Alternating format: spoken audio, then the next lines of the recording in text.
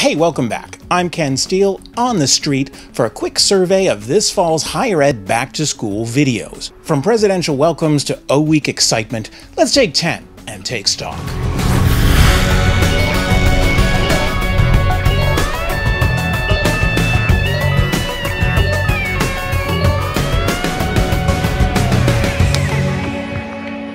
In a previous episode, we looked at the good and bad of social media during orientation season. And while there are, as always, plenty of online videos documenting student antics and excitement, let's focus today on the more official record. YouTube is filled with examples of back to school orientation information, like this one from the University of Prince Edward Island, released just two days prior to the big day. Hey folks, with new student orientation just around the corner, we wanted to take this chance to show you where you're going to be going on Saturday, September 3rd at 1 p.m. So when you arrive at the university, you're going to be parking in this parking lot here.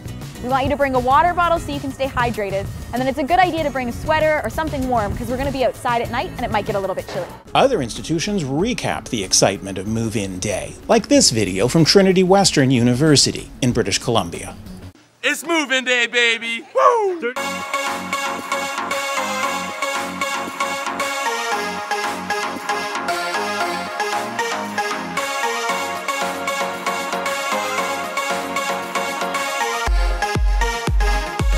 For 10 years now, O Week at Ryerson University in Toronto has included an organized event to set a new world record. This year, more than 1,200 students, faculty, and staff popped the Guinness World Record for bubblegum blowing.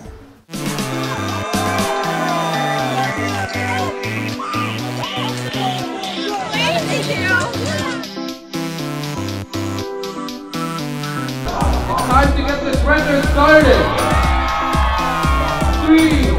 Two, one, go!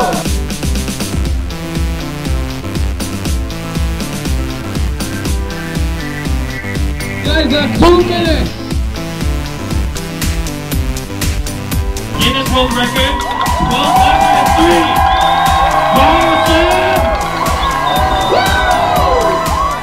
But back to school videos also tackle heavier issues. In a previous episode, we looked at videos about campus and dorm room safety. Respect and sexual consent campaigns are also prevalent at this time of year, and with good reason. Unfortunately, the first few weeks of school are when the vast majority of on campus sexual assaults occur. In an effort to keep things gender neutral, this fall the Sexual Assault Resource Center at Montreal's Concordia University enlisted some unusual spokespeople. Spokesfruit? Mm-hmm.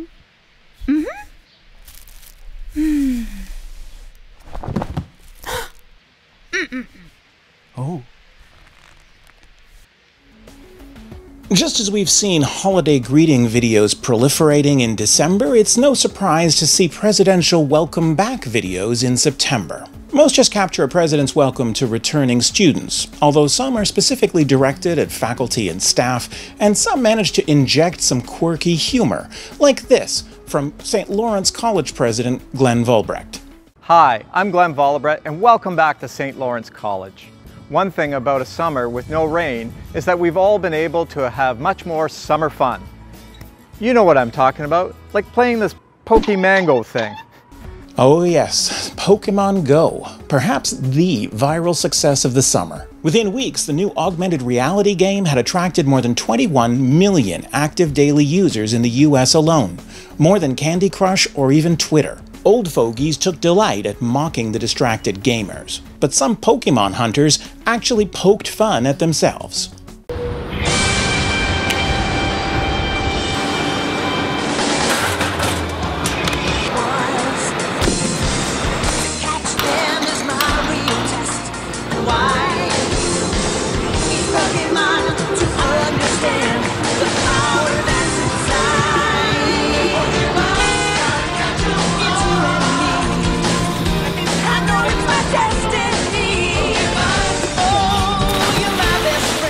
Of course, the creators of that video were later charged with trespassing on the TTC subway tracks.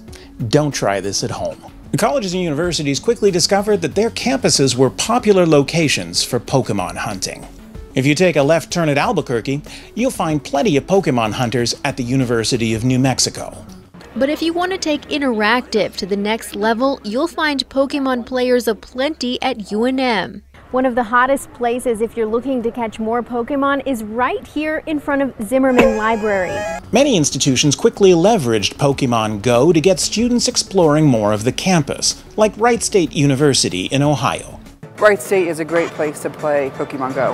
The trails, the trees, the paths. You, you could probably spend hours going through our campus with Pokemon Go. You can definitely tell who's playing by how they're looking at their phone. I'm new to campus and I didn't know this side of campus existed, so it's just kind of cool.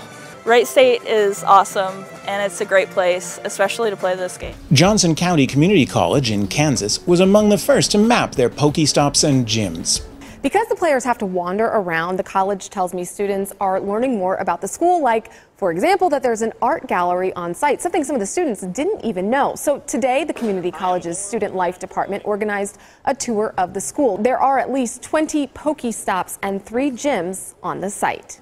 BCIT, the British Columbia Institute of Technology, organized a real life scavenger hunt they called Pokemon Go Day to encourage students and staff to bring their families to campus.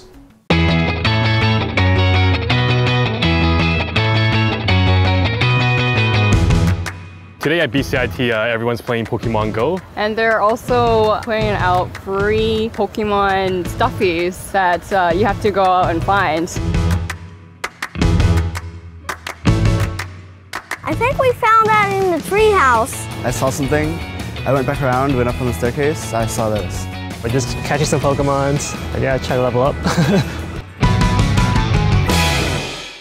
At UC Berkeley, Pokemon hunters can take an impromptu, self guided campus tour. If you get a lure, you can click on the building's info, and then through GPS, you can literally learn, you know, your basic information about this building. If you haven't already discussed ways to incorporate Pokemon Go into your next student recruitment cycle, rest assured your competitors have. At a time when public health experts are concerned about the impact of a sedentary lifestyle on North American youth, Pokemon fans were quick to emphasize the exercise component of the game. It's really easy to do. You get out, you do a lot of walking. A lot of people probably didn't walk that much before. I know I've hit my steps every day this week playing it. Um, I think my friends and I have hit at least five miles minimum every day that we've played it together. UNM Health even asked employees to join in on a Poke Walk, Campus student life and mental health professionals are hopeful that augmented reality games like Pokemon Go may create a stronger sense of community, especially for introverts. It gives us all that sense of connectivity when we're going back into like childhood. Everybody who is coming together as part of this game, the stories we're hearing where they're meeting new people and they're experiencing new places, having them all come together in a positive way is just really fun. Pretty much every walk of life is here. It doesn't matter age. James Walker is with UNM's Residence Life. He says the craze is building community. so why not embrace it, complete with a charging station? When you're out playing, you're seeing other people that are actually looking for the same things you are and looking for characters and trying to get them. Got it. Woo! Even the introverted students, they're they're looking up and saying, "Hey, there's four or five like me," and then they start talking. I'm not one to actually like get out and go meet people and stuff like that. So being involved and seeing people that are actually doing the same thing is just a big, big excitement thing for me. Naturally, school mascots were among the first to get into the Pokemon craze, like Duke the Lion at Florida's Warner University.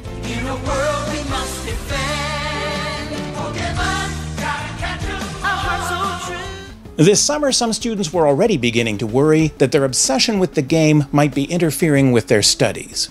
It's mind blowing. I've just been doing this for like the last four days. So sorry, Dr. Bryant, if you're watching this. But apparently, not every professor would disapprove.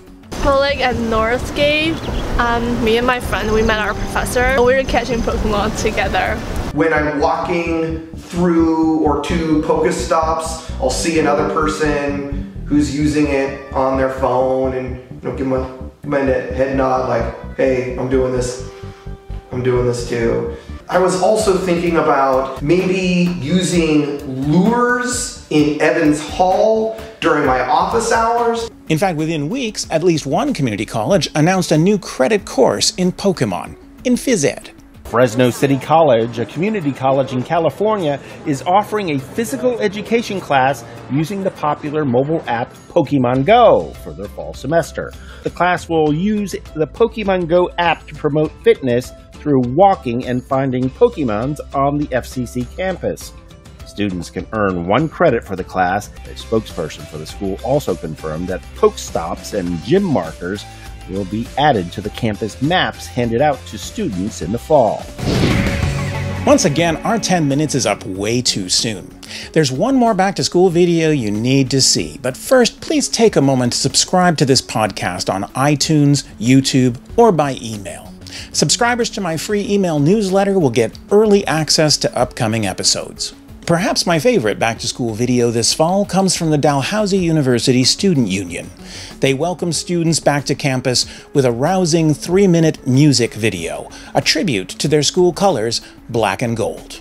Here are some excerpts, just in case you missed it.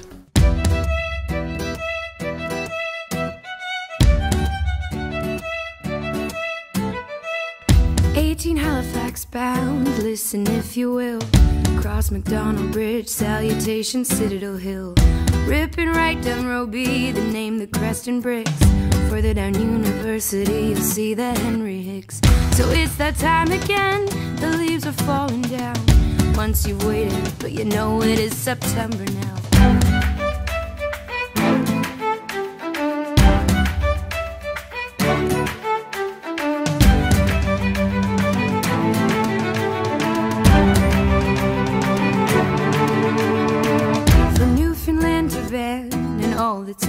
Each corner of the globe brings you things you've never seen. All walks of life join in high harmonies. Douse your home, forward we go, becoming who you're meant to be. Heads will turn, all behold.